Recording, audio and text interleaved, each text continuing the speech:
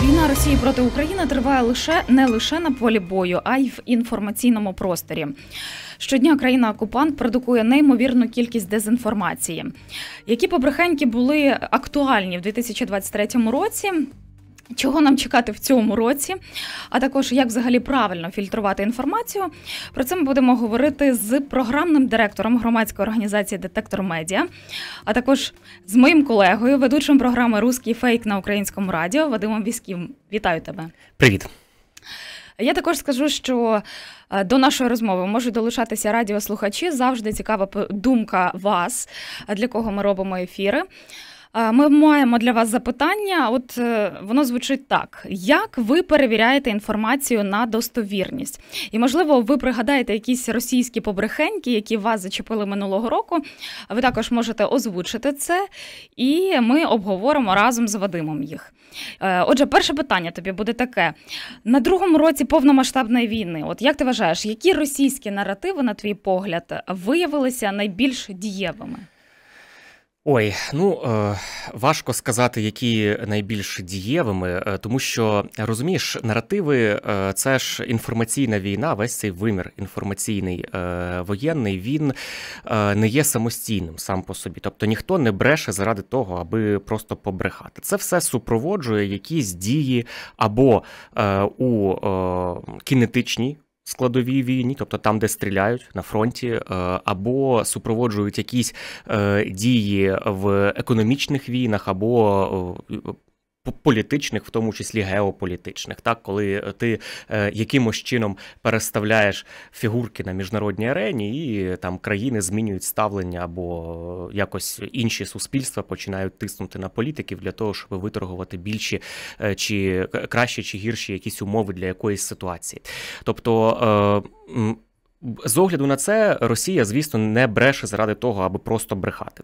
Е, вони е, супроводжують якісь свої дії, якісь свої зловісні наміри, і е, саме через це наративи вони теж мінливі. Так, вони є сталими протягом тривалого часу, але Росія починає забувати певні речі, які вона казала на початку повномасштабного вторгнення, е, і починають виходити на перший план зовсім інші наративи. Ну, наприклад, там ще півтора роки тому уже в е, стані повномасштабної війни ми дуже мало чули про мобілізацію російських е, якихось побрехеньок і так далі. Зараз цього дуже багато.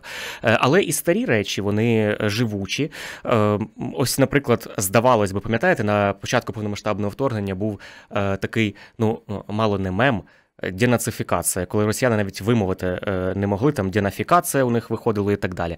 Е, так, е, оцей фейк про нацизм в Україні, про фашизм в Україні і так далі, який поширювали тоді, він навпрочуд досі живучий, досі актуальний. От буквально ми вчора чи позавчора спростовували у нашому руському фейку чергову історію російську про те, що уявіть собі, Зеленський, начебто, придбав віллу Геббельса. Віллу Геббельса, яку колись міністр пропаганди Третього рейху е, е, там володів нею. Ось за 8 мільйонів доларів. Буцімто якась офшорна фірма пов'язана з Зеленським придбала отаку віллу Геббельса, і це підтверджує буцімто те, що ну в Україні дійсно справжні нацисти. Звісно, ця історія є брехливою, і ми її докладно розібрали. Чому це не так, е, де підставилася російська пропаганда, де вона не врахувала. BBC, до речі, це спростувало навіть не українські якісь джерела. BBC просто продзвонила, опитала там тих ту компанію, яка управляє цією віллою, е, що, що ну власне що відбувається, нічого такого нема. Але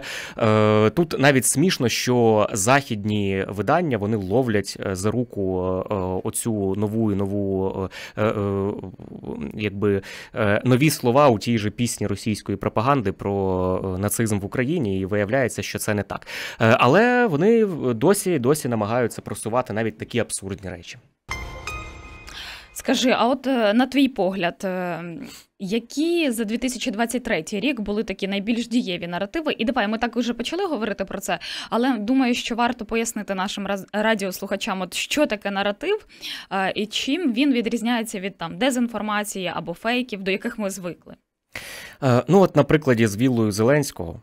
Е, яку точніше віллою Геббельса, яку, начебто, придбав Зеленський, оце є фейк. Це окремо вигадана якась історія. Епізод він може бути спростований, е, але він е, підживлює певне певне світоглядний постулат, що в Україні, начебто, є якийсь нацизм. Ну окей, це може була брехлива історія, але воно так накопичується, накопичується по крапельці і десь осідає певний осадочок в мозку, що можливо дійсно там нацизм. Не може бути так багато історій про нацизм і зовсім немає нацизму. Так, тобто, е, ось власне фейки, е, е, кожна така окрема історія, яку можна і потрібно спростовувати, вона вся грає на певний наратив. Нацизм в Україні це є наратив, і, і цим вони власне і відрізняються. Щось таке, от макро велике, в що об'єднується багато багато дрібних вигаданих або зманіпульованих історій.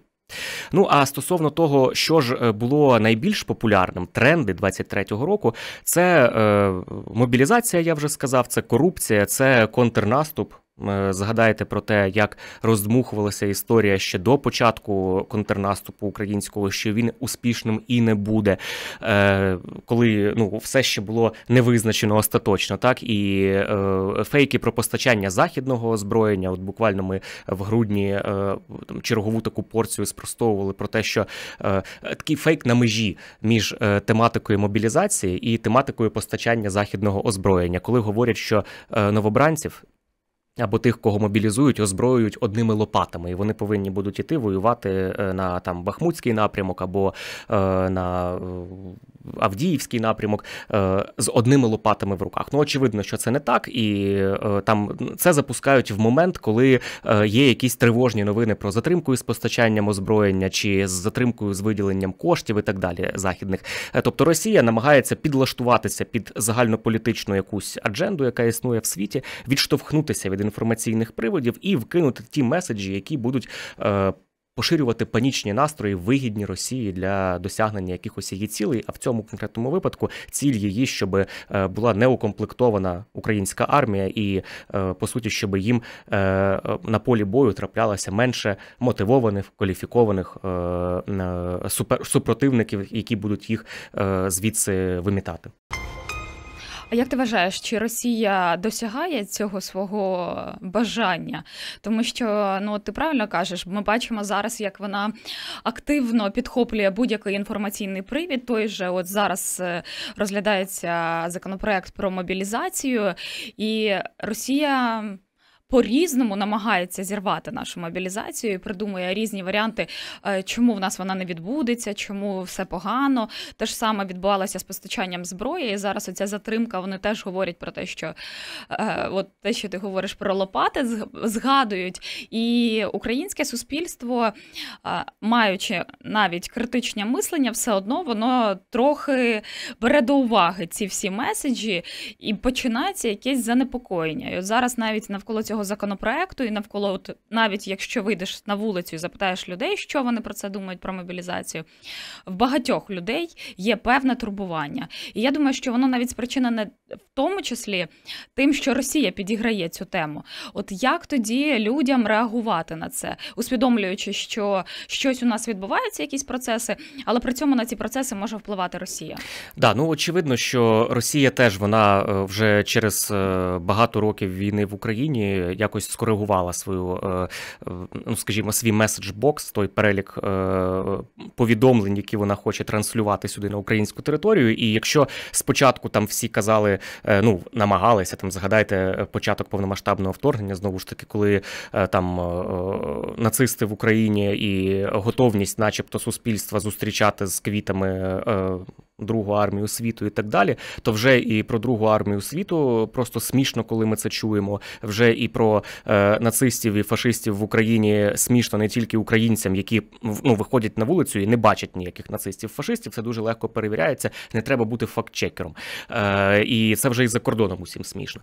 Е, а, раніше ще були, і навіть у нас в Україні були журналісти, які е, роздмухували цю тему і намагалися якось теж паразитувати на е, отакому е, якомусь якомусь нерозумінні західної аудиторії, є тут фашизм, нема тут фашизму і так далі. Але е, зараз вони вибирають ті теми, які дійсно є е, гарячими, які тривожать українське суспільство. Е, постачання зброї теж таке. Ну реально ж є новини про те, що там Конгрес затримує виділення коштів.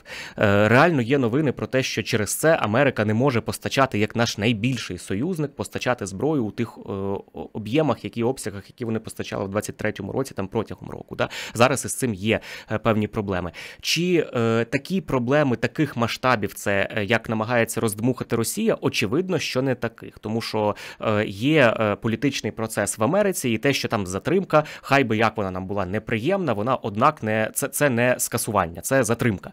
Е, тому все буде так.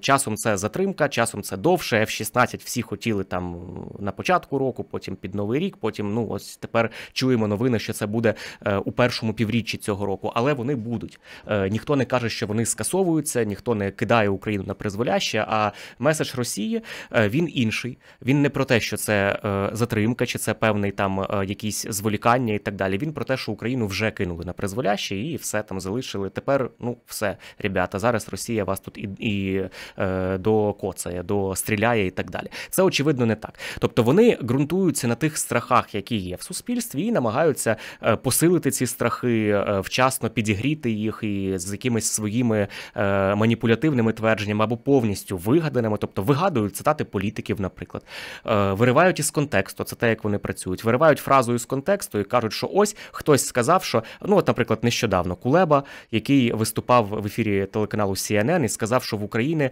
немає плану Б. Тобто, що робив е, Кулеба? Він виступав для американської аудиторії, і його спитали: Ну, а якщо Америка е, не затвердить вам цю допомогу, що ви будете робити? Він сказав: Ми на це не розраховуємо. Наше бачення таке, що Америка пообіцяла, має допомогу дати. Що каже Росія? Кулеба сказав, що без американської допомоги Україна здасться. Ну, очевидно, це зовсім інше. Тобто для цього достатньо послухати, що ж сказав Кулеба, відкрити CNN і почитати. Але висмикнути із контексту, зманіпулювати це те, як працює Росія. Стосовно мобілізації, це теж тема гаряча. І е, тут є е, такі дві площини. Одна площина це наша внутрішня українська дискусія про те, е, якою є справедливість у цьому питанні. Люди, які були мобілізовані або пішли добровольно е, добровільно в е, армію на початку повномасштабного вторгнення, е, вони вже втомлюються, і ми розуміємо, що є наростають ці настрої, що хочуть вони демобілізації і так далі.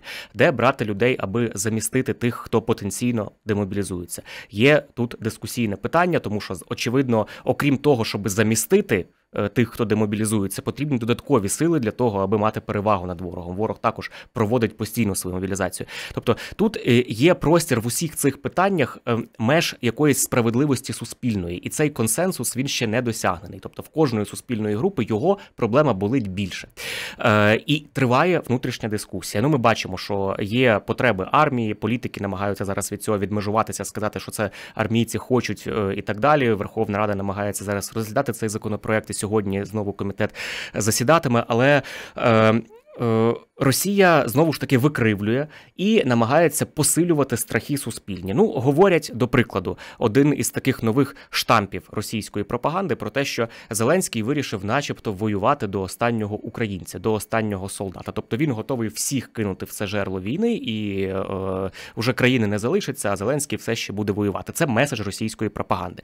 Е, І е, ось дивлячись на нього, ну ми розуміємо, що так є процес мобілізації. Чи це означає? що до останнього українця ні, це не означає. Чи це означає, що мені потенційно потрібно буде е, також е, брати до рук зброю і служити? Так, це може таке означати. Але для того, щоб мати більшу впевненість, потрібно повідписуватися. Е, впевненість і розуміння, що відбувається, потрібно повідписуватися від анонімних різних телеграм-каналів, від всяких блискавок і прочої трухи у вайбері і телеграмі, і підписатися на новини солідних медіа, суспільне мовлення, українська правда, ліга. Е, дзеркало тижня і так далі, і читати е, аналітику.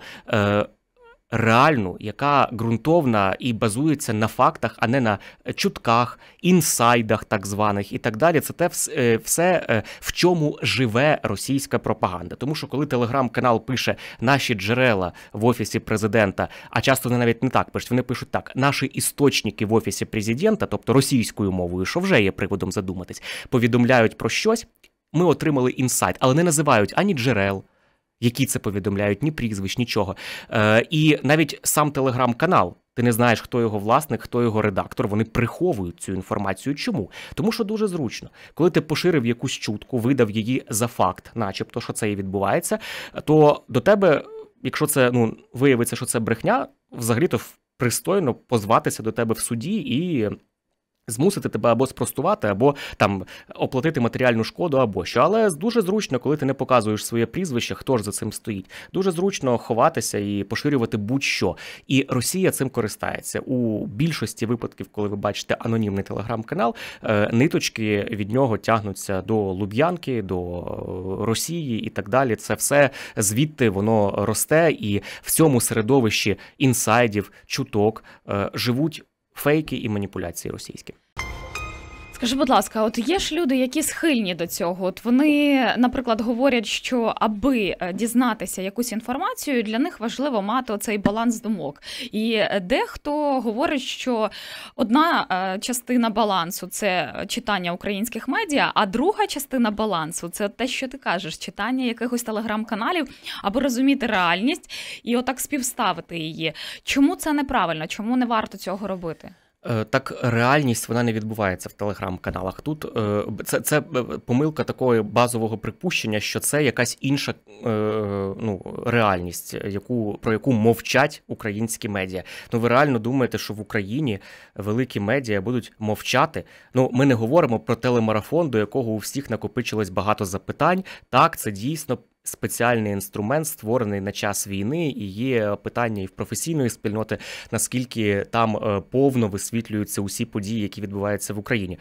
Але Марафон це тільки невелика частина інформаційного простору. В Україні є багато онлайн-медіа, незалежних від е, того, що відбувається в марафоні, які готові критикувати, готові розповідати про яйця по 17 гривень в міністерстві оборони, готові виносити на поверхню історії, які е, при наявності, хоча б мінімальної цензури, вони би відсікалися десь е, задовго. Не може гучна історія не потрапити у медіа.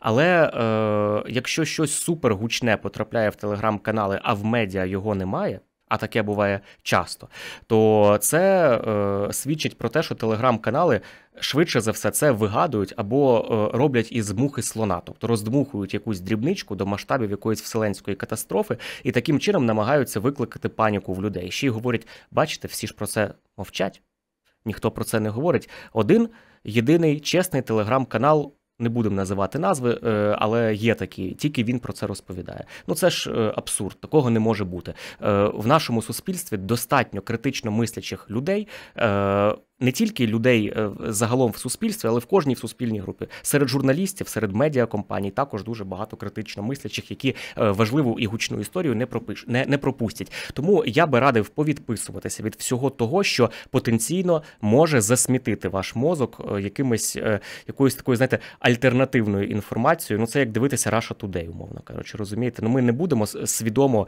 в свій раціон споживання медійного включати Russia Today, щоб дізнатися альтернативну інформацію. Це ж абсурд. Там же сплошна пропаганда і е, сплошні якісь меседжі е, російські, які не мають стосунку до реальності, наприклад, як про нацизм в Україні. Але це такий ну кричущий приклад. А е, меншої дрібнішої брехні там теж дуже багато. Давай ще поговоримо про ті е, наративи, які були в 2023 році. Вони були різними. От, е, готуючись до ефіру, побачила нещодавне дослідження інституту масової інформації. Вони опублікували е, якраз основні наративи, які були присутні в онлайн-медіа останнім часом, але саме в онлайн-медіа Росії. Отже, перший наратив, який на російську аудиторію був запущений, це про те, що про так звану неминучу поразку України в війні з Росією. Це перший наратив. Другий про так званий розкол в українському суспільстві. І третій про те, що Україна нібито розмінна монета. От як ти думаєш, це все оці три меседжі вони були протягом останніх місяців поширені в російських медіа, і от е, росіяни саме так сприймають своє становище у війні, і ставлення так формується до українців. Е, що нам треба з цього взяти для себе? Які висновки зробити, і про що це може свідчити? Е, ну, це ті меседжі, які Росія поширює для своєї російської аудиторії, і це це пропаганда, яка має ну трошки іншу задачу, ніж ту, яку вони поширюють в Україні чи у західних суспільствах. Е, пропаганда, яка поширюється всередині Росії, в неї все таки основна мета це е, зацементувати підтримку суспільством дій влади у війні, тому вони мусять їм розповідати про те, що Україна неодмінно е, потерпить поразку у війні, про те, що уже нібито є якась частина українців, які е, виступають е, за зближення з Росією, чи то якісь мирні переговори, чи то здачу якихось національних інтересів Росії і так далі. Про те, що Україна розмінна монета, ну це вкладається в такий наратив е, безсуб'єктної України, да, що нею тут, начебто, керують якісь західні куратори організатори, е, колективний захід і так далі. І От розмінна монета в війні. Е, до речі, дуже багато останнім часом вони і в Україну намагаються закидати меседжів про це. Е, от зброю не постачають, значить стали розмінною монетою. Ось там щось естонський міністр закордонних справ сказав, чи то прем'єр-міністр про те, що українці є щитом Європи, і нам дешевше підтримувати українську армію, аніж платити за війну, коли вона прийде на нашу територію. Це вже теж перекрутила російська російська пропаганда. Ну так дійсно, це з естонської точки зору і з будь-якої е, тверезої точки зору, це е, змістовно зараз підтримати. Фінансами, зброєю, техніку Україну. Але російська пропаганда каже: от вони хочуть тут всю Україну як розмінну монету знищити і так далі. Тобто, ну, перекручування, зміщення акцентів е, знову ж таки. І е, е, те, що ці речі долітають до українського медіапростору, але ось бачите, вони е, в російському медіапросторі більш все таки вкорінені про те, що Україна безсуб'єктна, вона неодмінно, неодмінно, е, начебто, потерпить поразку і так далі. Е, це для того, аби все-таки виправдати продовження війни всіма тими силами і засобами, які повинна мобілізувати для цього Росія. Тому що якщо ми думаємо, що там війна їх не зачіпає, значно менше звісно, зачіпає рядового е, росіянина ніж рядового українця, е, але теж це є відчутним для їхньої економіки. Їм потрібно придумувати виправдання, навіщо це робиться. Артем пише: згадав два свіжних фейки про те, що залужний відпочиває на островах в Індійському океані під час війни, а також про те, що поляки будуть вивозити український чорнозем до себе. Артем з Києва написав: Як ти вважаєш? Е, про чи відпочиває за... залужний чи на островах? так, Щоб порахувати океані. всі фейки, які були про те, що залужний, Зеленський і е, інші е, там посадовці найвищої ланки відпочивають на островах під час повномасштабної війни, десь ще там проводять якось не при виконанні обов'язків свій час. То я боюсь, що вийде, що вони навіть авансом на майбутні роки відпочили, не те, що всі дні цього повномасштабного вторгнення, а ще й додаткові якісь з'явилися там, десь витягли вони е, туз е, у вигляді кількох додаткових днів. Це, звісно, є такі фейки, вони трапляються періодично. Ну тут все дуже просто. Як правило, це завжди е, можна довести, що це не так, але зрештою, Зеленський це просто смішно, тому що кожного дня людина записує звернення зі свого кабінету, і їх можна подивитися. Це очевидно, що вони є про якісь теми, які саме в цей день відбувалися, резонували. Це дуже а просто. от залужний тут було написано про те, що залужний відпочиває на островах. Ну не знаю, і, і на про островах, поляків, які будуть і на островах відпочиває і дисертацію захистив. Тобто, ну це неможливо аж все так встигнути. Я думаю, що на островах він не відпочиває. В нього є інших багато справ. Це було би просто ну е, знайшлось би багато тих людей, які, якби таке сталося, захотіли би це використати е, в протистоянні з залужним. І мені здається, що е, те, що ми не чули таких чуток із чи то таких фактів із якихось достовірних джерел, свідчить про те, що такого дійсно не було. Бо якби воно було, е, це був би розкішний меседж для будь-кого, хто хоче якось ем, поконкурувати. Але з точки зору чорнозему, це ще один дуже цікавий фейк, і ну він же теж ґрунтується на історичній пам'яті про вивезення чорнозему в роки Другої світової війни. І по суті, зараз такі експансіоністські настрої заходу, які Росія змальовує у медіа і намагається сказати, що це насправді не Росія агресор, а Захід агресор. Ось буквально свіже на цю тему. Ну з землею окей, це ну просто смішно і абсурдно, але є інший фейк, який буквально от.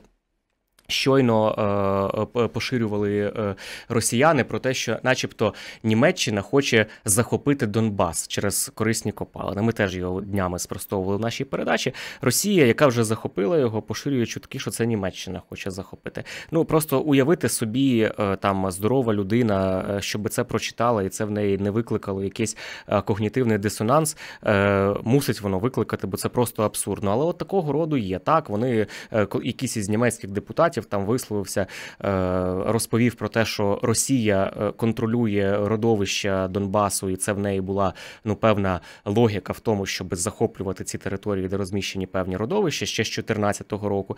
Е, і, зокрема, це для того, аби там узалежнити більше від себе Європу, тому що там ну певні родовища, які з, з яких потім роблять з елементів добутих акумулятори там і так далі. Тобто їм в енергетичному плані це ну він проводить цю лінію, що це було все з певним злим умислом і стосовно Європи, а не тільки стосовно України. І дійсно в цьому ну певна логіка є, але Росія каже: ага, раз він звернув увагу, які там родовища, то це ж він напевне розписався в тому, що це Німеччина хоче ці родовища собі, та не хоче їх Німеччина. Нічого від такого він не казав, і це ну легко спростовується. Ну, ми, ми це власне і зробили в нашій передачі Руський фейк. Але е, ось вони постійно намагаються сказати, що е, не вони агресор, а агресор є Захід, і всі біди в Україні саме через те, що Україна е, відвернулась від Росії і пішла співпрацювати із Заходом. Це Старий наратив, ми е, з ним стикалися багато років і під час всієї війни на Донбасі, і е, до того, після приходу до влади е, Ющенка, ми вже пам'ятаємо, як будь-які погляди, навіть ще може не дії, активні, а погляди у сторону Європи в НАТО і так далі. Вони всі викликали просто ну панічну таку істеричну реакцію у росіян, і вони казали, що ось. Захід вас хоче з'їсти. Але поки що нас їсть тільки Росія, а Захід ще е, ну якось не розпочав. Чому він зволікає? До речі, ще от е, такий гарний коментар. Віра написала з Бучі. Написала, що я переконана, що одночасно з військовими діями Україні нашим союзникам потрібно доносити росіянам правду про те, що російська інформаційна політика базується на брехні і перекручуванні фактів. Я пригадую, як я вірила, що радянський союз є найбільш справедливим в світі. Е, пенсіонерка з Бучі Віра. І також додала, що найбільше мене вражає брехня росіян про українців, щоб налаштувати їх на війну проти України і колективного заходу. От як би ти відреагував? Ну, це старі штампи російської пропаганди про те, що імперіалістичний захід, е, агресивний блок НАТО і будь-яка співпраця із ними, це, начебто, е, несе загрозу для якоїсь альтернативної демократії, яку із себе представляє Росія. Ну, ми розуміємо, що вона ніяка не демократія, це просто ну авторитарний, озброєний до зубів і антилюдський Е, режим, який е, ні своїх громадян не поважає і мішає їх там е, просто з землею подивитися на ці м'ясні штурми, в яких в які відправляють росіян на місці росіянина. Я думаю, що є багато про що задуматися, чи дійсно російський президент робить щось корисне для Росії. Тому що в довгостроковій перспективі, так само як і в короткостроковій перспективі, нічого хорошого росіянам не світить за те, що в них є отаке от е, такі дії їхнє керівництво робить, і вони це підтримують. Е, але це питання віри. І я думаю, що говорити те, що Росія не права, це, е, ну е, скажімо. Е, це може е, бути недостатньо. Тобто, це е, для того, аби відбулися якісь зміни в масовій свідомості, потрібні політичні передумови. Потрібно, щоб е, прийшов хтось трішки більш демократичний, який почав би ну скажімо, хоча б перекрив кран цієї пропаганди, яка лиється з екранів телевізійних на росіян щодня. Тому що ми пам'ятаємо, що ну в радянському союзі все почалося не через запит суспільства знизу, а були жорсткі репресії. Був потім період застою, коли пропаганда розповідала і холодна війна, і так далі. Але коли прийшов Горбачов і трішечки цей екраник пропаганди, яка лилася з екранів, перекрив і почалася гласність, то тоді нарешті не західним голосам повірили, тому що західні голоси всі ці роки були. Ну було суспільство, частина, яке його слухала. Але коли свої почали в Росії відкривати очі і отримувати доступ на свої ж телеканали і говорити звідти правду, от тоді це призводить до масових якихось змін в свідомості, і завдяки цьому, зокрема, і відбулася деконструкція. Імперії зла е, Радянського Союзу. Е, але бачите, великий найбільший уламок цієї імперії він все ще себе меніт імперії і продовжує ну в якійсь, е, по-моєму, в найгіршому вираженні, тому що мені, чесно кажучи, здається, що в своїй масі середньостатистична радянська людина була значно більш інтелігентнішою, освіченою, ніж середньостатистична сучасна російська людина. Чи є в них достатньо інтелектуальної спроможності здогадатися? що їм брешуть, і знайти для себе альтернативне джерело інформації, це питання, е, власне, е, питання, а не е, відповідь на нього важко. Скажи, будь ласка, от е, є ж і українці, які е, насправді те, що ми називаємо фейками, вони в це вірять. Отут мені завжди цікаво, от чому люди взагалі в це вірять? Як ти вважаєш? І як взагалі е, будується ця пропаганда, на що тиснуть пропагандисти, аби отак зачепити людину? Е, ти знаєш, є в українців достатньо можливостей для того, аби стежити за фактами за тим, що відбувається насправді, складати свою картинку світу із фактів із достовірної інформації. Є сторінки представників Е, держави, державних органів. Е, зручно це читати в е, Телеграмі, до прикладу, вони і там є. Військові, якісні медіа, які наповнюють будь-яку платформу доступну хорошою, нормальною, якісною аналітикою. Це не тільки там, умовно кажучи, сайти, чи треба марафон для цього дивитися, чи, чи слухати тільки ефірне радіо. Можна зараз на будь-якій платформі підписатися на достовірні джерела інформації.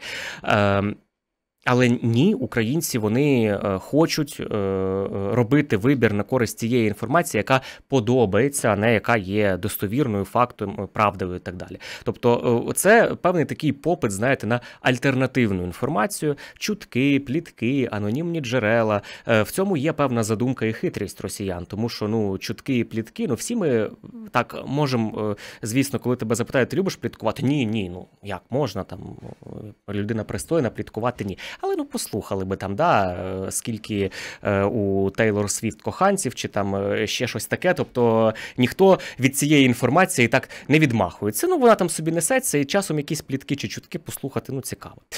Але загалом це чутки і плітки це те, в чому живе російська пропаганда, це та обгортка, з якою вона приходить до українців. Так, вона не має доступу до телевізійних екранів. Канали Медведчука ми повиганяли з ефіру ще перед початком початком повномасштабної війни. Тому їй потрібно маскуватися і вдягати на себе оце от е, плаття.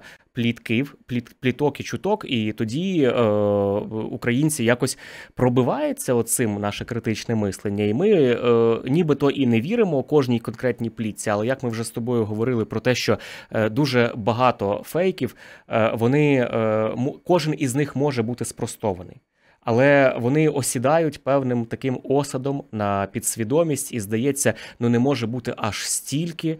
Е, е, неправди про якусь тему. А ми знаємо це постулати ще е, пропаганди е, Третього рейху, яким вони дуже вміло користувалися, про те, що мільйон разів повторена брехня стає чим стає правдою. Тобто воно сприйма... ну, воно очевидно не стає, тому що ну об'єктивна реальність існує, але сприймається людиною, воно вже за певну е, норму, що так воно і дійсно є. Воно стає частинкою світо, е, світогляду, е, який сповідує людина. І от в Росії, на жаль, просто така кількість і навала цих фейків, що в них це стало частинкою світогляду. Е, вони вже вірять а в це. А у нас скажи, будь ласка, а у нас Росія ж ці фейки, наративи вона кидає саме в нас наш інформаційний український простір. І деякі люди також починають це вірити. То чому? Чому так, так відбувається? Так, ну тому що вони довіряють вони можуть різноманітним джерелам, які розрізнити, це. що є дезінформацією, що є інформацією. Чи Я думаю, що це корінь цієї проблеми в нашому раціоні медіаспоживання, що ми дивимося, що ми читаємо, що ми слухаємо. Е, так, таке може трапитися, і ми бачимо перед собою за перебріком цілу націю, яку ввели в е, отаку от глобальну світоглядну оману. Вони вірять в те, що Путін правий, вони вірять в те, що вони тут когось денацифіковують і так далі. Але щоб у нас такого не було, не потрібно читати радянських газет.